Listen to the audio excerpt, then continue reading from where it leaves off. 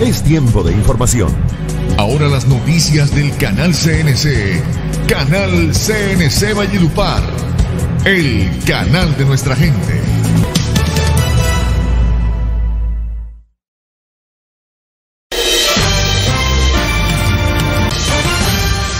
Ante la Fiscalía General de la Nación, directivas de Dusacawi, EPS, denunciarán a líderes del pueblo aroaco por falsas acusaciones sobre un posible detrimento en la entidad. Además, se erradicarán documentos con los que presuntamente estos dirigentes aroacos, a través de una unión temporal, intentaron apropiarse de más de mil millones de pesos de la entidad. Yo quiero hacer una denuncia pública contra los señores José María Arroyo Izquierdo y Helber Zapata por las falsas acusaciones que han hecho a través de diferentes medios, que la presunta propuesta para mejorar la situación financiera de la entidad no es como lo quieren hacer creer estos señores.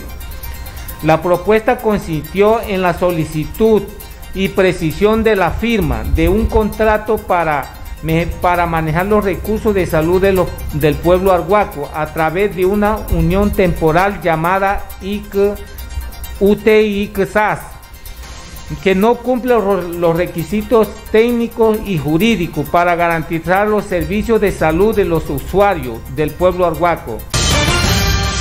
El Laboratorio de Salud Pública Departamental reportó en las últimas horas 385 casos de COVID-19 en el Cesar. A 8.770 se eleva la cifra de contagiados en el departamento, de los cuales 4.070 se han recuperado. 4.369 se encuentran aislados en sus casas. 47 están hospitalizados en sala general. 50 están en UCI y 234 han fallecido.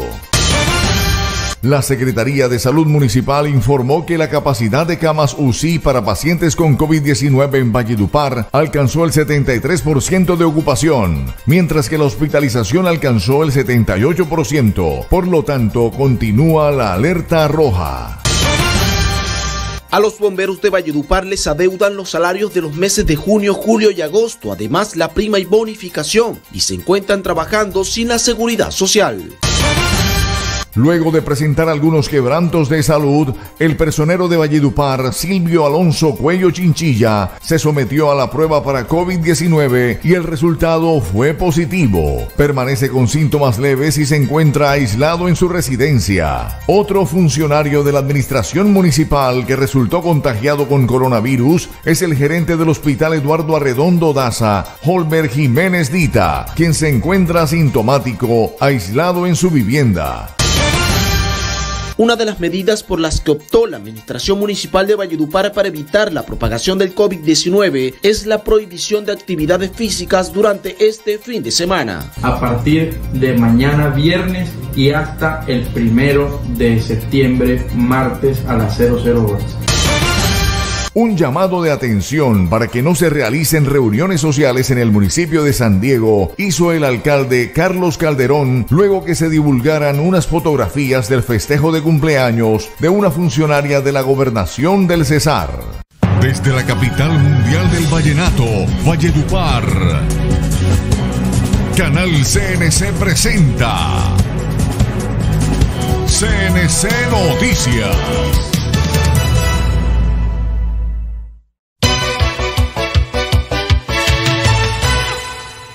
A través de una unión temporal y sin que hubiera un contrato de por medio, líderes del pueblo aruaco pretendieron cobrarle anticipadamente a la EPS indígena Dusacawi mil millones de pesos en el departamento del Cesar. En esta oportunidad, yo quiero hacer una denuncia pública contra los señores José María Arroyo Izquierdo y Helber Zapata por las falsas acusaciones que han hecho a través de diferentes medios, difamando, afectando el buen nombre de Usacá Biepsi y sus autoridades tradicionales y funcionarios.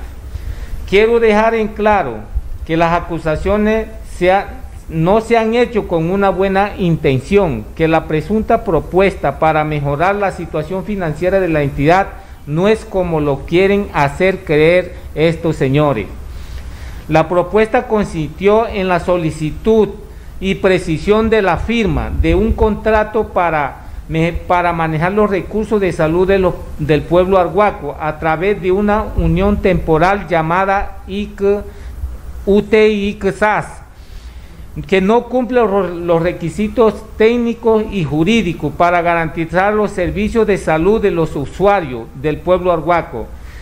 Y no es voluntad del pueblo arhuaco en general, pretendiendo exigir y exigiendo el giro de mil millones de pesos, para lo cual presentaron una cuenta de cobro que les muestro sin que hubiese acuerdo de nada. Esta es la cuenta de cobro que los señores presentaron. El afán y, presión por el, por el pago de mil millones de pesos iniciales y contrato era que debían dejarlo listo antes de la salida del señor José María Arroyo, el gobernador de Cabildo Alguarco de la Sierra Nevada. Estos hechos y acusaciones serán denunciados formalmente ante la Fiscalía General de la Nación. Y, también quiero manifestar lo siguiente, Dusacabi EPS durante su historia de existencia y, y, organizada a través de la Asociación de Cabildo, tiene 23 años.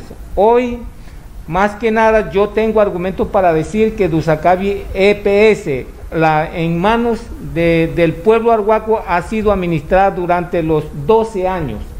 En este momento, como socio, que son los tres pueblos, en este momento sería la segunda oportunidad que tiene Dusacabi EPS y el pueblo Huihue en administrar. Durante mi gestión y administración como gerente de Dusacabi EPS he sido como más los días o los años de, mi vida más atormentado por estos líderes y por algunos líderes que representan al pueblo arhuaco, donde denuncian varias veces en la, en la superintendencia.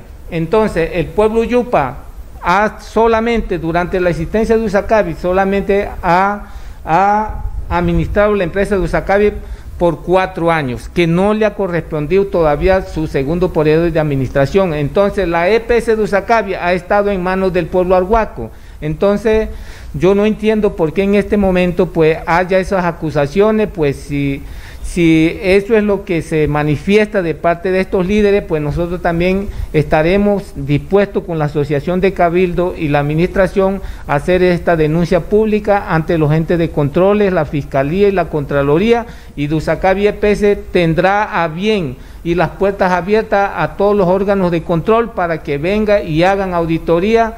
Johanna Mestre Izquierdo, directora administrativa y financiera de Dusacawi EPSI, dijo que no tienen ningún fundamento las denuncias que en contra de la entidad han hecho estos dirigentes aruacos sobre presunta corrupción y malos manejos de los recursos, precisando que los estados financieros de la misma son públicos y están colgados en las páginas de la Superintendencia de Salud y de la Contraloría, que además realiza acompañamiento de revisoría fiscal a estos.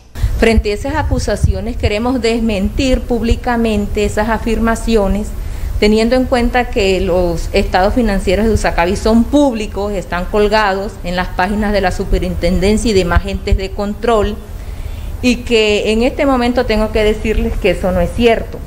La EPS ha venido en un proceso de recuperación financiera. El año pasado, a cierre de diciembre, pues cerramos con un patrimonio negativo de 2.016 millones 954, pero que a corte de, del cierre de julio del 2020 tenemos un patrimonio positivo de 34.999 pesos, millones de pesos. Entonces, y que además son públicos. Aquí nada tenemos que esconder. Queremos darle la tranquilidad a, todos los gentes y el que quiera puede venir a revisar. Esto es tan público, se reporta mensualmente todos los estados financieros ante la superintendencia. Tenemos la Contraloría con funciones de revisoría fiscal que nos tienen eh, mensualmente haciéndonos los requerimientos, el acompañamiento para poder subsanar todos los hallazgos que nos han quedado en, la, en las medidas de prórroga. Entonces no entiendo por qué estas acusaciones, como le digo, aquí no hay nada que esconder, esto es público y todo está colgado en las páginas de la superintendencia. Eh, cualquier ente de control que pueda, que quiera corroborar la información lo puede hacer, porque como le digo, está colgado en las páginas públicamente de la super y de los medios, porque nosotros reportamos ante Contraloría, ante Superintendencia, lo, mensualmente todos los estados financieros. Entonces no entiendo y quiero darle esta tranquilidad, vuelvo y repito, de que esas afirmaciones no son ciertas. Por su parte, el cabildo gobernador Aruaco, José María Arroyo, envió un documento con copia a la Procuraduría General de la Nación denunciando los presuntos hechos de corrupción alrededor de la EPS indígena Dusacawi.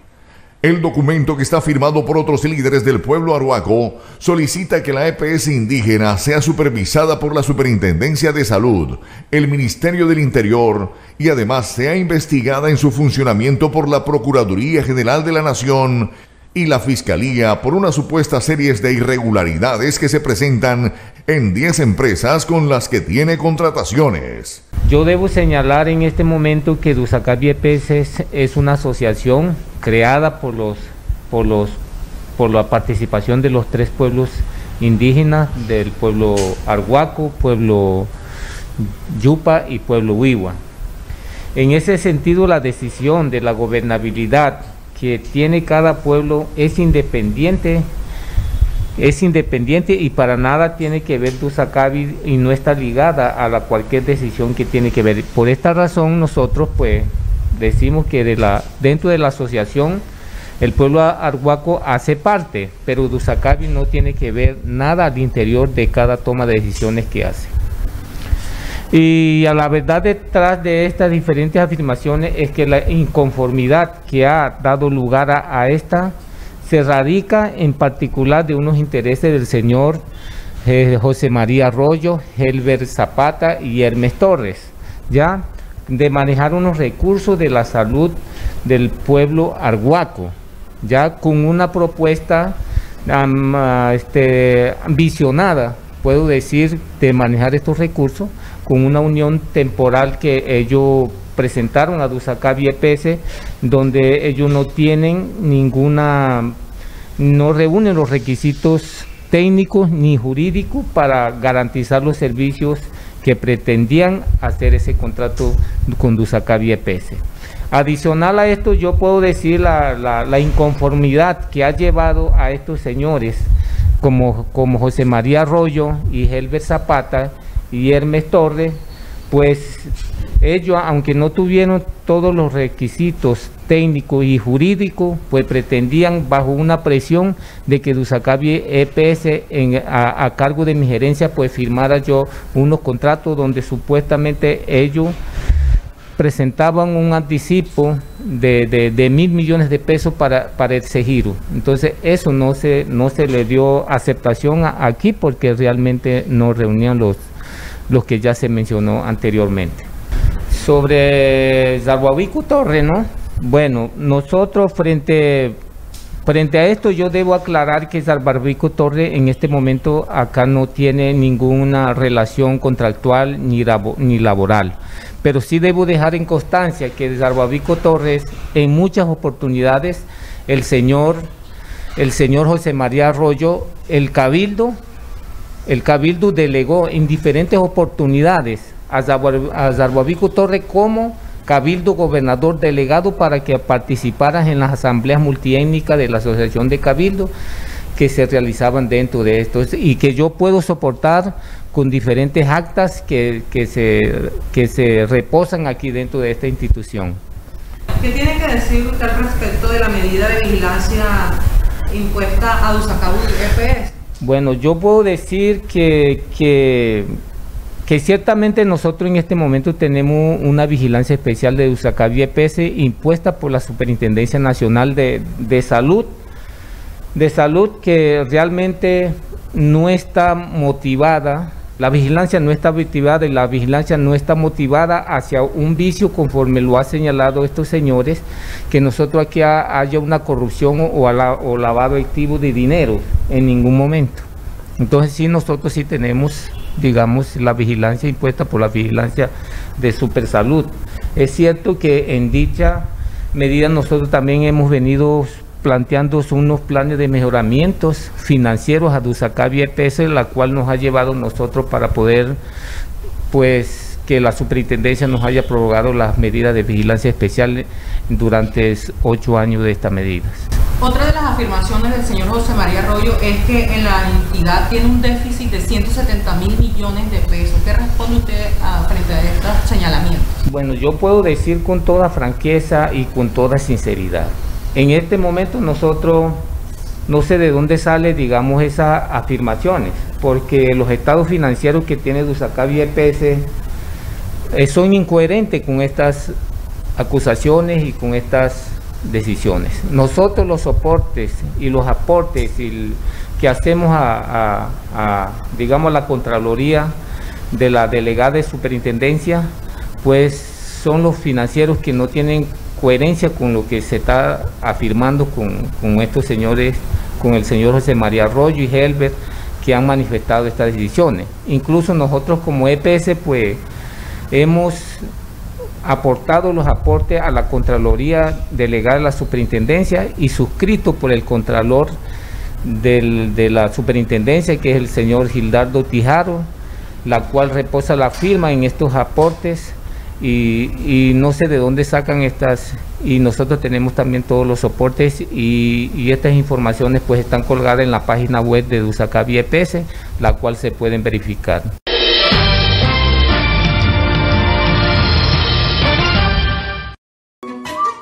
Dale gusto a tu paladar, saboreando los más deliciosos postres y ponqué que te ofrece Tortas Negle. Elaboramos todo tipo de tortas, cupcakes, flan, bizcochos y todo lo que necesitas para tus eventos especiales.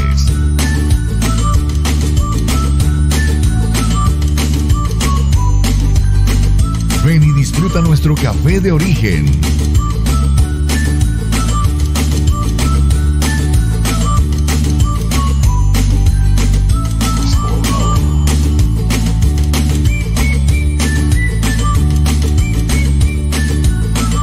Visítanos en la carrera 10, número 1318, Barrio El Obrero.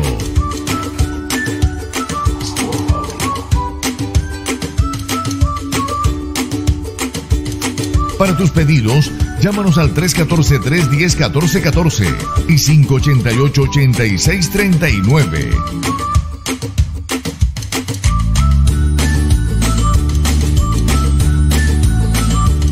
Síguenos en las redes sociales Instagram y Facebook. Tortas Negle. Dulce sabor. Dulces momentos.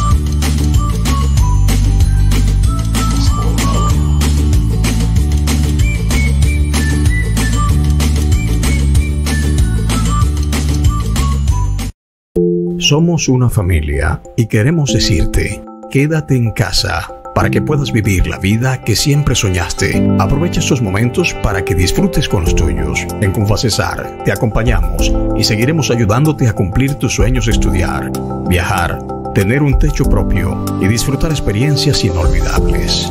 Muy pronto la vida será como antes y desde Confacesar juntos seguiremos cumpliendo tus sueños.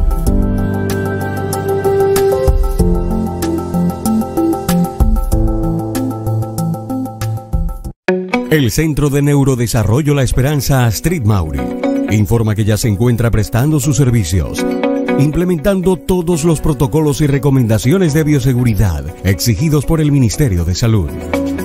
Es nuestra finalidad brindar a nuestros usuarios la ayuda y atención requeridas en aras de contribuir al mejoramiento de la calidad de vida en niños con trastornos de aprendizaje y el desarrollo sensoriomotor. Somos el ejército de Dios para la recuperación de nuestros niños. Los esperamos. Centro de Neurodesarrollo La Esperanza, Astrid Mauri.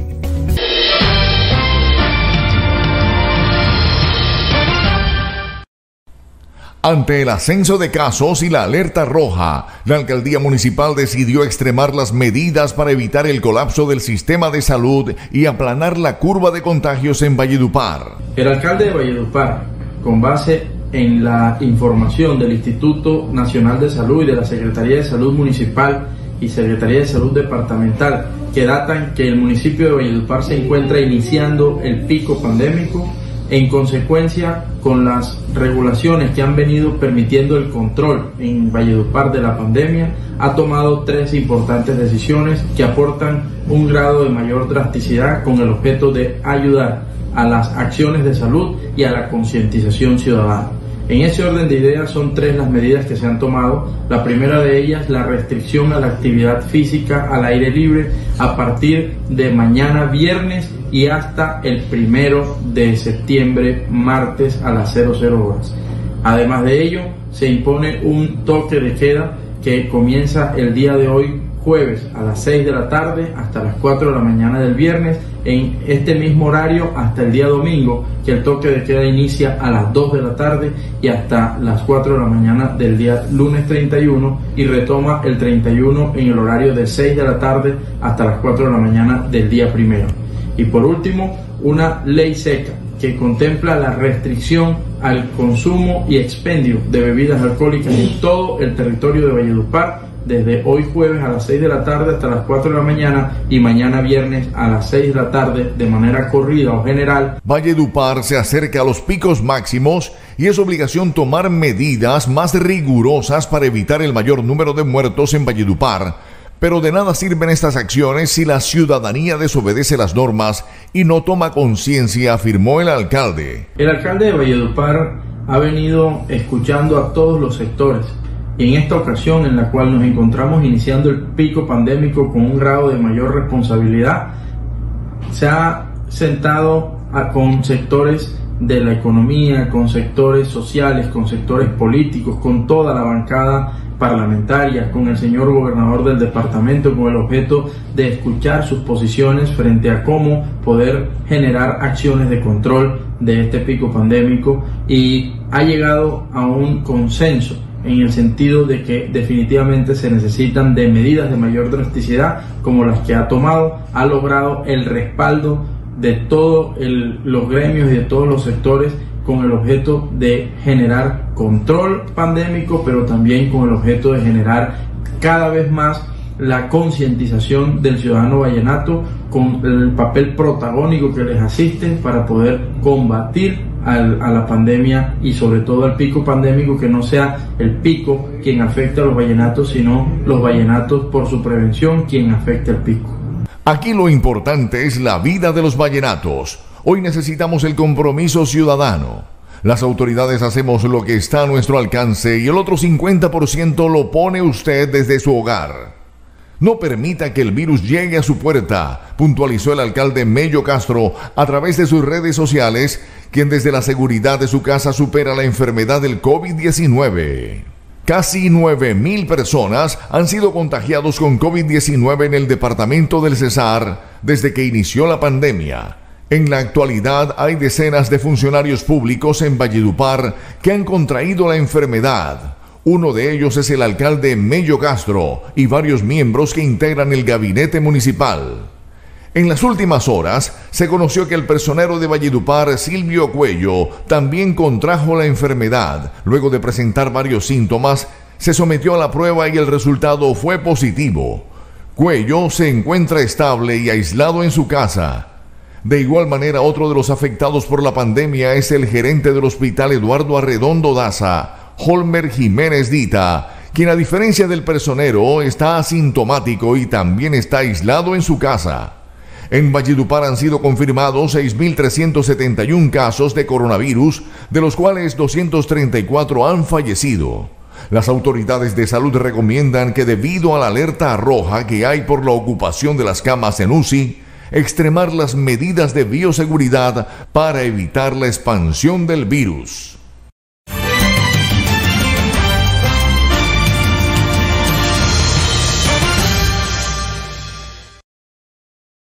sabes por lo que estamos pasando, Señor. Y hoy, Señor, yo te pido en nombre de Jesús que nos escuches, Señor. Escucha nuestro clamor, mira nuestra necesidad, Señor. No, no escondas tu oído, Señor. Escúchanos el Cuerpo Voluntario de Bomberos de Valledupar exige el pago de los meses de salarios que les adeudan, además de la prima y bonificación que no les han pagado hasta la fecha.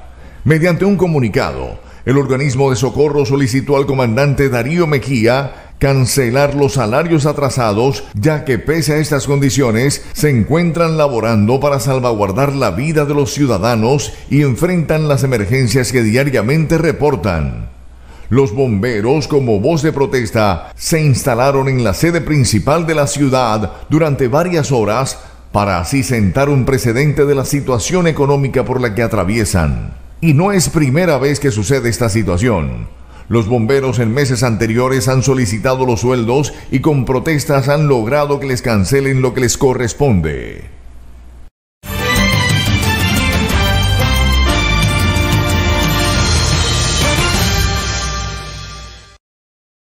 Varias son las medidas que ha optado la Administración Municipal de Valledupar para la contención del COVID-19. Debido al aumento significativo de casos en los últimos días, una de ellas fue la prohibición de actividades deportivas en espacios públicos hasta septiembre. Las medidas, que son tres, las de mayor drasticidad que buscan aportar a la, contención del, del, pico, al control del pico pandémico, contemplan precisamente la prohibición de la actividad física al aire libre.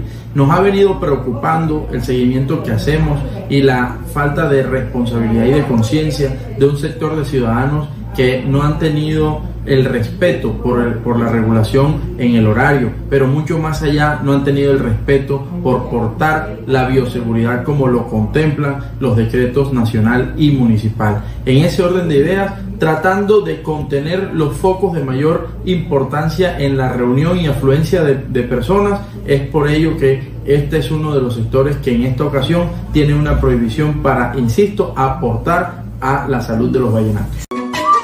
Dale gusto a tu paladar, saboreando los más deliciosos postres y ponqué que te ofrece Tortas Negle.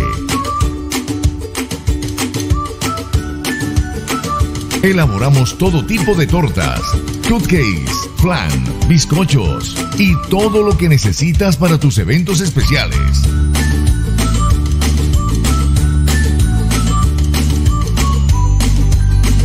Ven y disfruta nuestro café de origen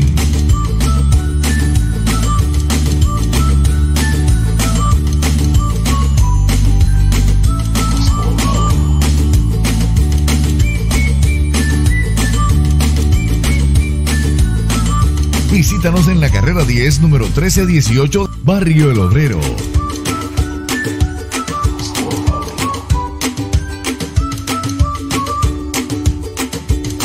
Para tus pedidos, llámanos al 314-310-1414 y 588-8639.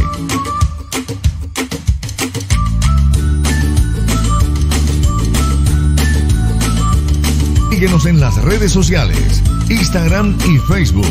Tortas Negle. Dulce sabor. Dulces momentos.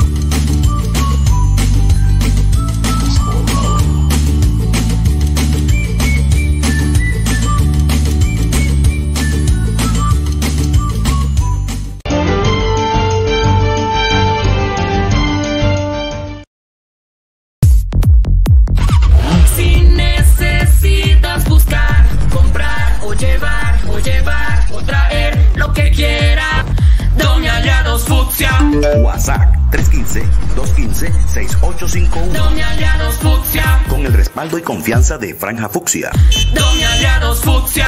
WhatsApp 315-215-6851. Doña Aliados Fucsia. Digitel, comunicación sin límites. Conéctate a nuestra variada programación con la calidad y el mejor precio que solo Digitel te puede dar. Nacimos para comunicarte. Sin barreras, brindamos entretenimiento y comunicación para ti y para toda la familia. Entretenimiento en todo momento.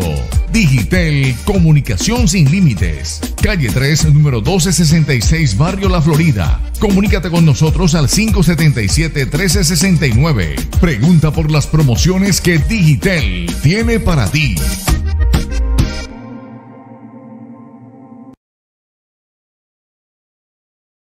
Cuidemos el agua y nuestro sistema de alcantarillado. En Codazzi es de todos. Es muy fácil, ahorremos este preciado líquido mientras nos aseamos o limpiamos nuestro hogar. No regar las matas o terrazas en horas de mucho calor o cuando hay mucha brisa. Para lavar el carro, usar un balde, no la manguera No arrojen pañitos húmedos dentro del inodoro. Y recuerda que las basuras no se tiran en los manjoles. Estas son algunas recomendaciones para que desde casa hagas tu aporte al bienestar de la ciudad y el medio ambiente. Recuerda, pagar a tiempo tu servicio de agua, así contribuyes con el mejoramiento y el bienestar de nuestra empresa. En Codasi es de todos. Solucionestico.com Mantenimiento de impresoras, recargas de cartuchos, toner para impresoras, impresiones, laminaciones, anillados, papelería en general, reparación de computadoras, minutos y recargas a todos los operadores. Cámaras de seguridad, 20 instalación, configuración y mantenimiento. Contáctanos WhatsApp 304-367-2938. Celular 301-657-2782. Servicio a domicilio gratis. Solucionestico.com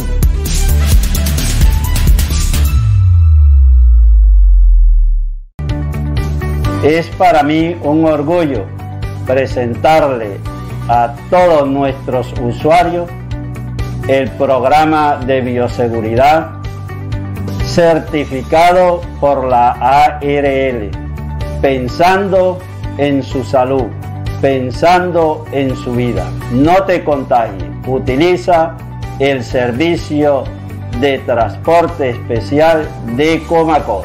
Es tu empresa.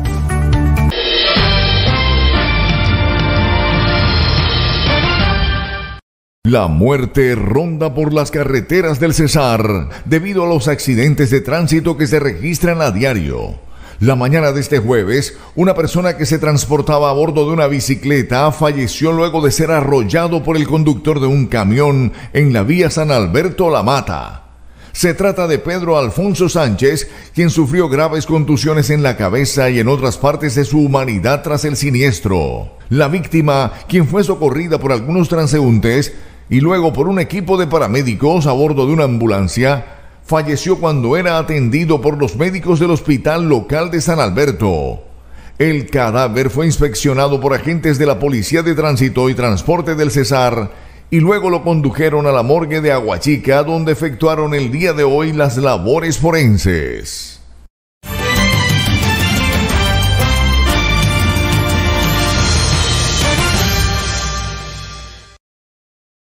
El Departamento de Policía Cesar, a través de integrantes de la estación Valledupar, incrementa los controles en el sector del barrio La Nevada. Es así que en las últimas horas logra la captura de dos sujetos que portaban armas de fuego de manera ilegal. La primera captura fue realizada en la calle Quinta con carrera 46 del barrio La Nevada, donde Alejandro Santiago Céspedes, de 21 años de edad, en un registro los uniformados le encontraron un arma de fuego tipo artesanal calibre 5.56 color negro con un cartucho calibre 5.56. El capturado fue dejado a disposición ante la Fiscalía en turno URI por el delito de fabricación, tráfico de armas y municiones. El segundo operativo se realizó en la carrera 38 con calle Quinta H del barrio La Nevada, donde fue capturado Jonathan David Ramos de 22 años, a quien se le encontró en su poder un arma de fuego tipo artesanal calibre 38 milímetros, color negro con un cartucho calibre 38 milímetros. El capturado fue dejado a disposición ante la Fiscalía en turno URI por el delito de fabricación, tráfico de armas de fuego y municiones.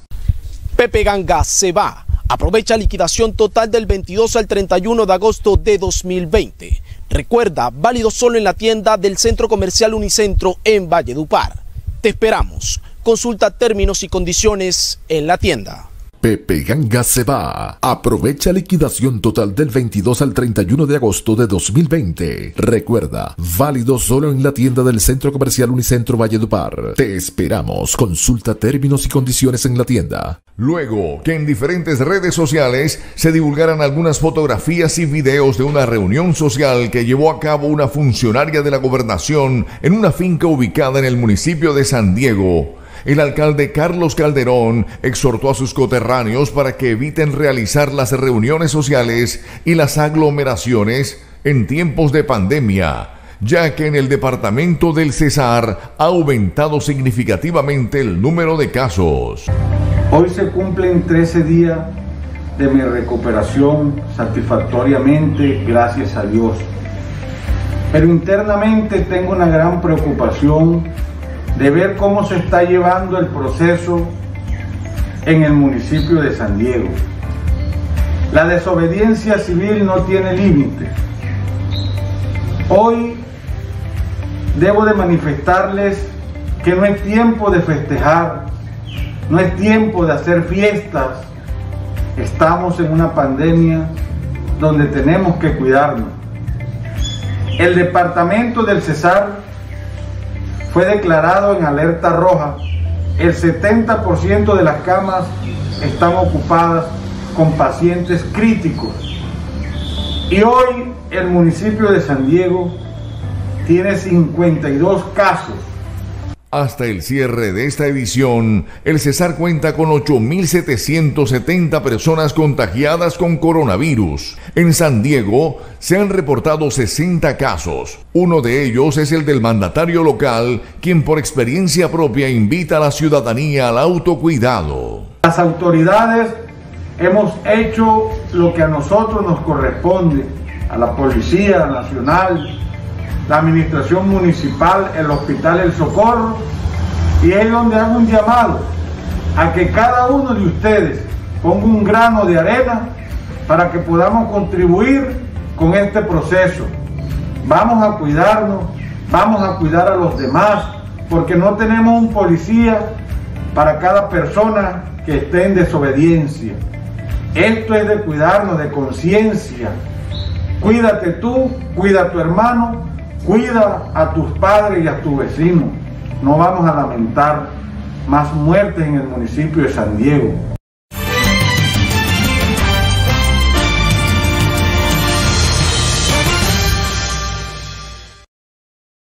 El gobernador del Cesar encargado, Wilson Solano Gracia, posesionó a Juan Carlos Quiñones Rincón como nuevo gerente del Hospital José David Padilla Villafañe de la ciudad de Huachica. Este aguachiquense ha sido su gerente administrativo financiero y jefe de recursos humanos de esta importante entidad.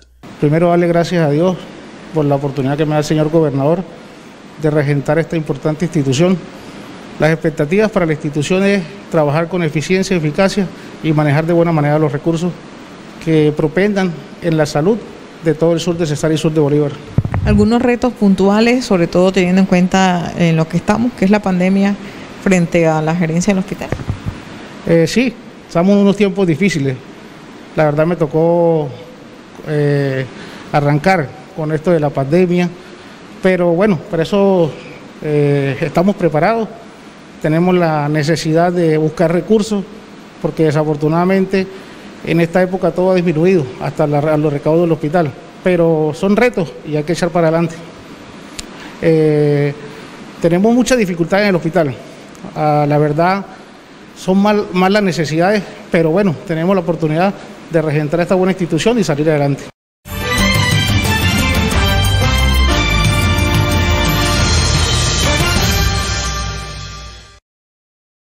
Después de surtir un proceso sancionario ambiental por inadecuada disposición final de desechos en la margen derecha del río Guatapurí, Corpo Cesar sancionó al municipio de Valledupar con multa por cuantía de 1.907 millones 204 mil 148 pesos y dentro del mismo proceso impuso medida compensatoria consistente en reforestación de esa zona que ha sido afectada por la mala disposición de residuos sólidos. El proceso en contra del municipio de Valledupar por la inadecuada disposición de los residuos sólidos en la margen derecha del río Guatapurí. Se inició atendiendo el requerimiento del procurador ambiental Camilo Vence de Luque, quien solicitó la visita de inspección técnica de funcionarios de Corpo Cesar para verificar el estado actual de la zona. Luego de la inspección técnica realizada por profesionales de la corporación, en la que se pudo evidenciar que a pesar de que en el mes de junio del año 2018, desde la Oficina Asesora de Planeación Municipal se habían realizado trabajos orientados a darle solución a la problemática, no se ejerció el debido control por parte de la administración municipal para que la ciudadanía hiciera la disposición adecuada de residuos sólidos, no solo en esa zona, sino en otros sitios, de tal manera que estos desechos caen directamente a la vertiente del río, causándole daño ambiental a la fuente hídrica más importante de la ciudad.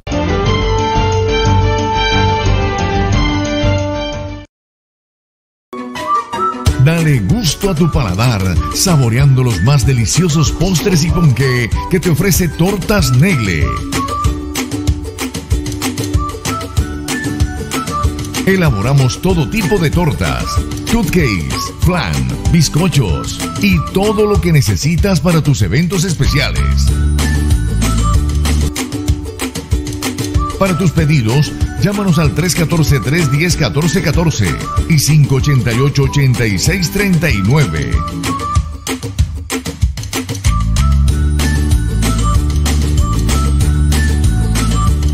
Síguenos en las redes sociales, Instagram y Facebook. Tortas Negle, dulce sabor, dulces momentos.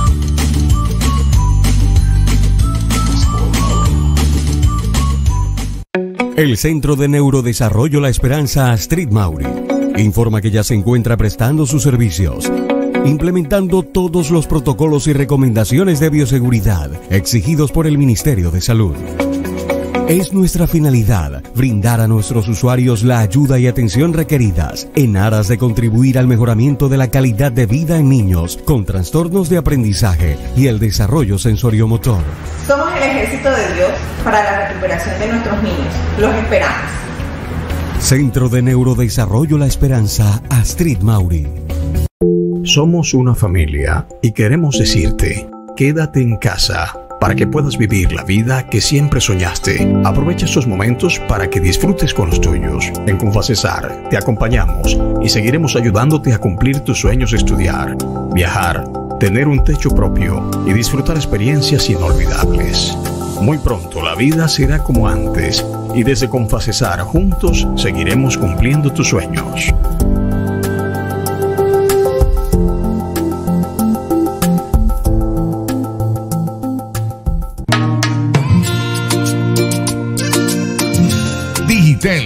Comunicación sin límites. Conéctate a nuestra variada programación con la calidad y el mejor precio que solo Digitel te puede dar.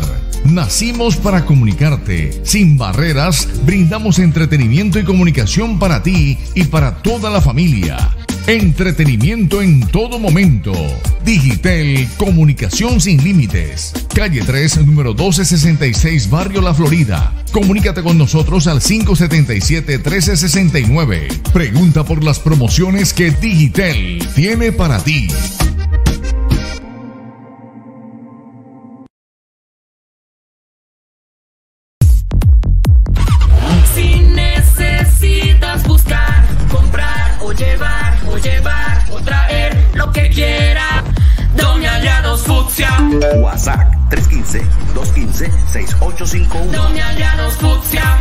Respaldo y confianza de Franja Fucsia. Doña Llanos Fucsia. WhatsApp 315-215-6851. Doña Llanos Fucsia.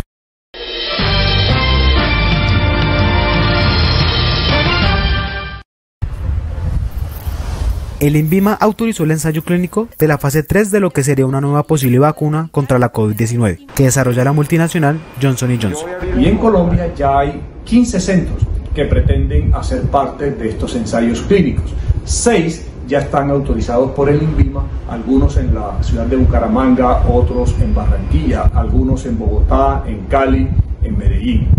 Consistirá en otorgar voluntarios de 18 a 60 años en buen estado de salud a los que se les realizarán diferentes pruebas de laboratorio y relacionadas con su estado físico luego de la autorización por escrito de la persona. Se le va a explicar en detalle cada uno de los procedimientos que se le van a hacer durante el estudio. Se les va a administrar el producto de investigación y posteriormente se le van a hacer seguimientos para, para permitirnos conocer qué tanta actividad de las defensas se genera después de la aplicación del producto.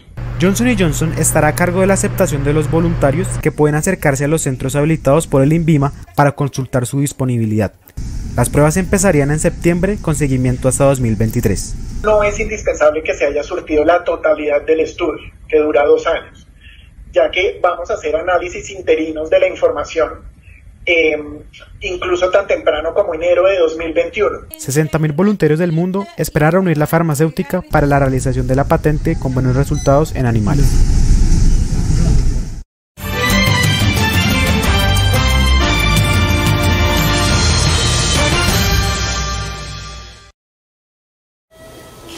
La llegada del coronavirus no solamente fue una prueba de fuego para la salud, sino también para la economía. Uno de los sectores más golpeados por la pandemia fue el del entretenimiento nocturno, entre ellos bares y discotecas. En Colombia, para recuperar este sector se estableció una propuesta para su reapertura, bares sin bebidas alcohólicas. Empezamos ya a avanzar en los protocolos de bares y esperamos también una recuperación de la vida productiva con mucha responsabilidad. La decisión entre los propietarios de estos establecimientos generó opiniones divididas. Es el caso de Gregorio Fandiño, quien ve en este decreto una nueva ilusión para abrir su negocio. Es una oportunidad de mostrar eh, la tarea bien hecha en protocolos de bioseguridad. Entonces veo oh, con mucha esperanza que los bares vayan a tener una apertura. Para Javier Velázquez, propietario de una discoteca, esta medida no ayuda a la recuperación económica ni mantiene a flote este sector que lleva más de 160 días cerrado. Es difícil poder mantener los gastos de nuestra, de nuestra operación únicamente con comida. Nuestro grueso es el licor. La Voz de América consultó a la barman Camila Pérez, quien destacó que las bebidas sin alcohol ya venían en crecimiento antes de la pandemia. En algunos países se hacía la experiencia de coctelería sin alcohol, pero el entretenimiento no siempre tiene que estar eh, ligado al alcohol.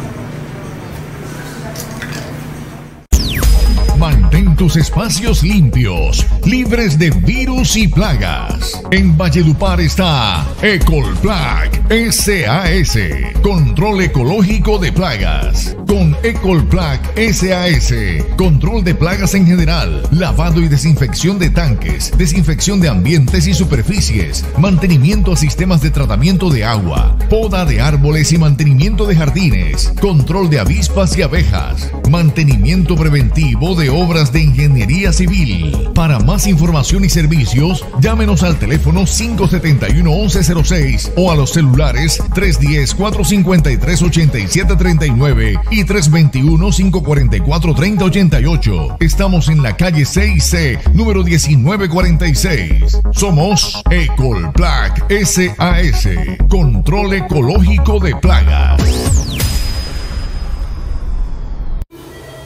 Hasta la fecha, el nuevo coronavirus lleva alrededor de 23 millones de casos confirmados en el mundo. América Latina es una de las regiones más golpeadas por el COVID-19, pero en el caso de Colombia, según un cálculo de epidemiólogos y economistas, puede que se esté ignorando el 82% de los casos reales de coronavirus. En mortalidad encontramos que Colombia por millón de habitantes se encuentra en el octavo lugar. De acuerdo con los investigadores de la Universidad Nacional, la Universidad de la Costa, la Universidad de California, el Departamento de Economía de la Universidad de Cartagena, decir que Colombia está mejor que otros países parece ser una exageración.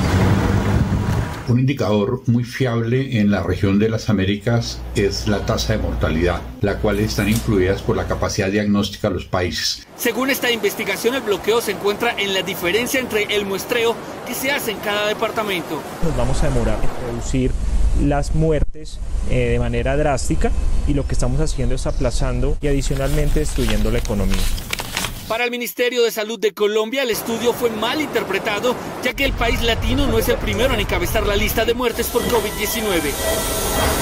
Colombia hasta la fecha tiene aproximadamente 16 mil muertes. Si uno compara con otros países, Estados Unidos y, y, Brasil, México, India, Reino Unido y Francia incluso están eh, por encima del doble del número de muertes de Colombia.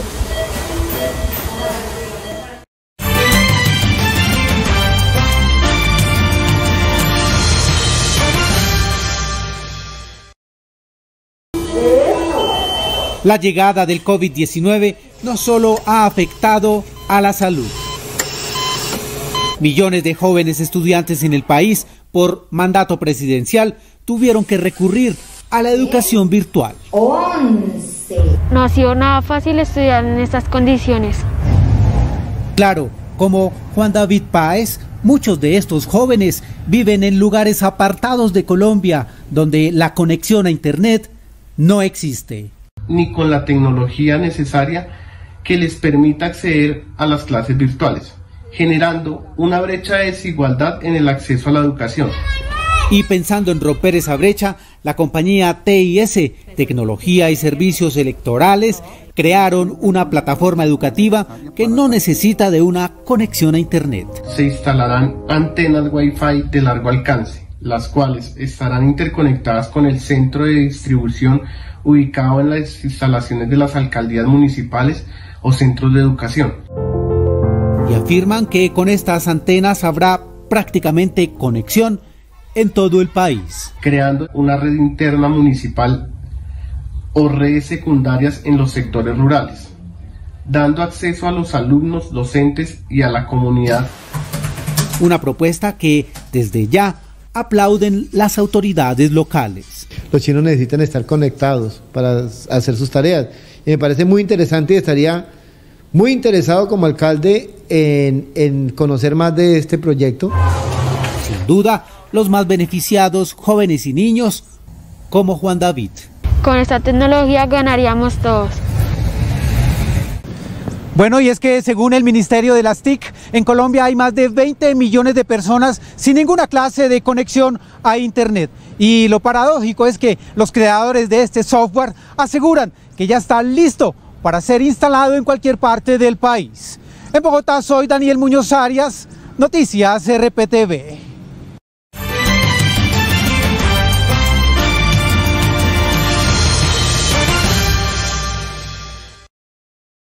El pasado mes de junio, la presencia de tropas militares causaron revuelo en el territorio colombiano. En su momento, el ministro de Defensa Carlos Holmes Trujillo intervino ante la plenaria virtual del Senado el 3 de junio para aclarar los motivos que impulsaban la representación estadounidense en nuestro país y que correspondían a un asunto de cooperación militar internacional, sin que representasen una violación a la soberanía nacional. La Brigada de Asistencia de Fuerzas de Seguridad, conformada por 53 militares, son unidades especializadas de los Estados Unidos en entrenamiento y asistencia a naciones aliadas para fortalecer el potencial de las Fuerzas Armadas del país y su lucha contra los grupos criminales y el narcotráfico.